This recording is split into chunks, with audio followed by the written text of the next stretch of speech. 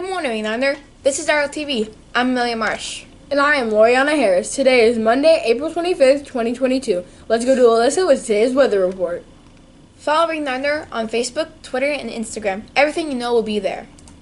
Ringlander track team will be at home today, beginning at 4:15 p.m. The Vila Club will meet on Thursdays from 2:45 to 4 p.m. The Yoga Club will meet tomorrow from 2:45 to 3:30 p.m. Remember to sign up using the study table sign-up sheet and put Miss Sanowski or Miss Howell as the teacher.